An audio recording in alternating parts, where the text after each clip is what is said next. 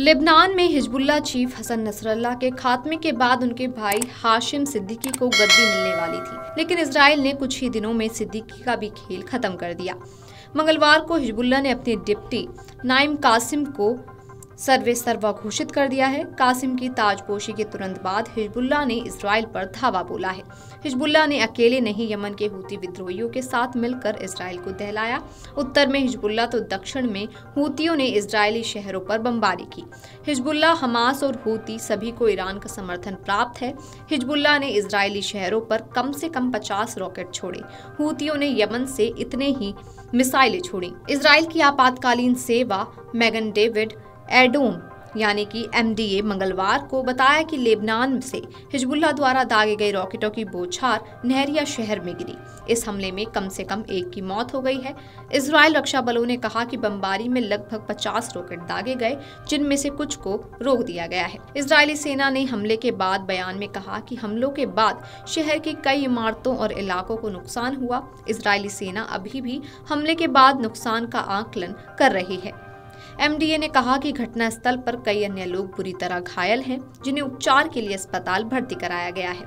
Social media पर हवाई हमलों के कई वीडियो सामने आए हैं। फुटेज में हमले का जवाब देने के लिए कई आयरन डॉम, इंटरसेप्टर मिसाइलों को दागा गया। ये घातक हमला मंगलवार की सुबह लेबनान और यमन दोनों से इजरायली शहरों पर किया गया।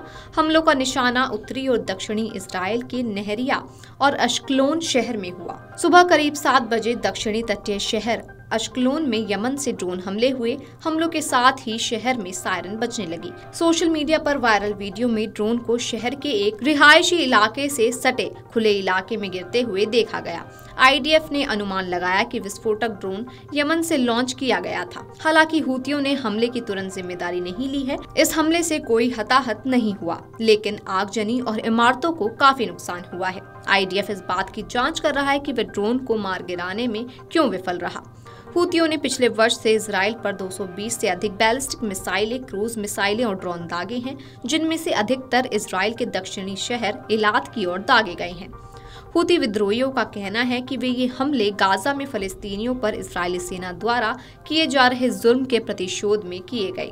हूती हमास का समर्थन करता है। हिजबुल्ला ने बयान जारी करते हुए बताया कि शूरा काउंसिल ने सहमति से कासिम का चुनाव है। नाइम को उन्नीस सौ इक्यानवे में संगठन का डिप्टी चीफ नियुक्त किया गया था। हिजबुल्ला ने बताया कि संगठन के प्रति कासिम का समर्पण और ललक देखकर उन्हें चीफ नियुक्त किया गया है।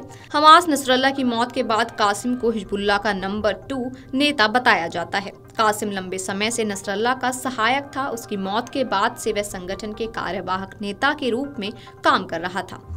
भले ही नाइम कासिम को हिजबुल्ला का नया चीफ नियुक्त किया गया, लेकिन संगठन ने संकल्प लिया है कि जब तक इसराइल के खिलाफ जीत हासिल नहीं हो जाती है, तब तक हिजबुल्ला नसरल्ला की नीतियों पर चलता रहेगा। तेईस सितंबर को ही इसराइल सेना लेबनान पर एयर स्ट्राइक कर रही है।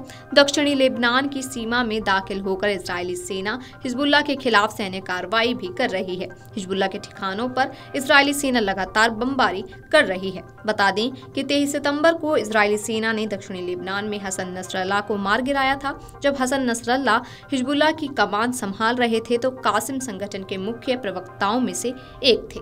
Video desk Amar Ujala dot com. अगर आप ये वीडियो यूट्यूब पर देख रहे हैं तो हमारे चैनल को सब्सक्राइब कर बेल आइकन दबाएँ और फेसबुक पर देख रहे हैं तो हमारे पेज को लाइक करें। आठ मिलियन प्लस सब्सक्राइबर।